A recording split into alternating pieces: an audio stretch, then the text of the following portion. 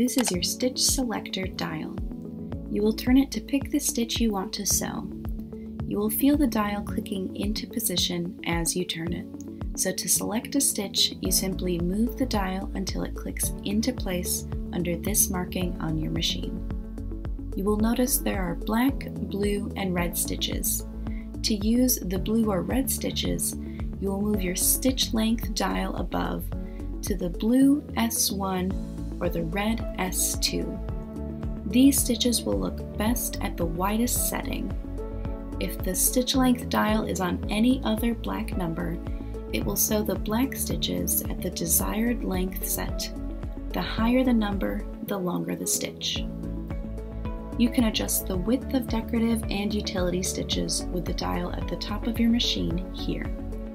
Here is an example of different stitch lengths and here's an example of different stitch widths.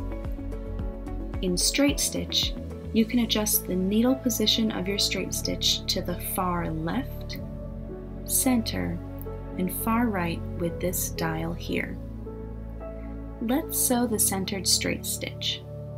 On the needle plate here, you will see these markings.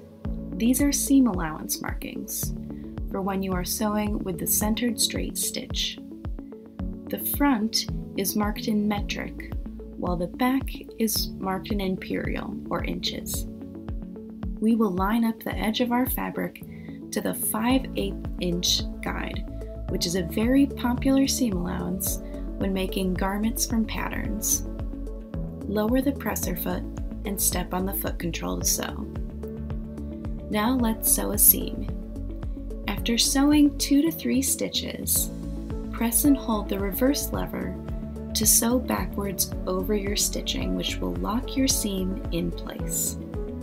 Step on the foot control to start sewing again. You will want to press and hold the reverse lever at the start and end of every seam to prevent unraveling.